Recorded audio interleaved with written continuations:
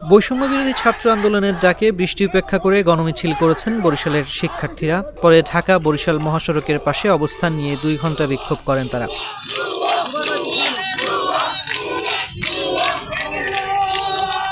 শুক্রবার দুপুর দুইটা থেকে বিকেল পৌনে চারটা পর্যন্ত মহাসড়কের পাশে অবস্থান নিয়ে বিভিন্ন স্লোগান দেন শিক্ষার্থীরা।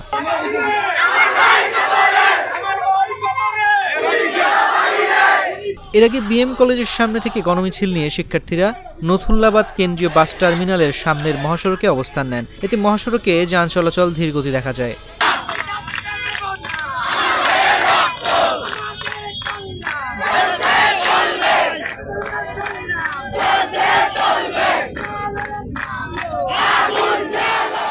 পরে শিক্ষার্থীরা এই যান চলাচল স্বাভাবিকে কাজ করেন। এ সময় বাস টার্মিনাল এলাকায় আইনশৃঙ্খলা বাহিনীর শতাধিক সদস্য উপস্থিত ছিলেন। বরিশাল মেট্রোপলিটন পুলিশের এয়ারপোর্ট থানার ভারপ্রাপ্ত কর্মকর্তা লোকমান হোসেন বলেন, শিক্ষার্থীরা মহাসড়কের পাশে অবস্থান নিয়ে বিক্ষোভ করেছিলেন। তাতে যানবাহন চলাচলে কোনো বাধা সৃষ্টি হয়নি। এখন শিক্ষার্থীরা বিএম কলেজের দিকে চলে গেছেন।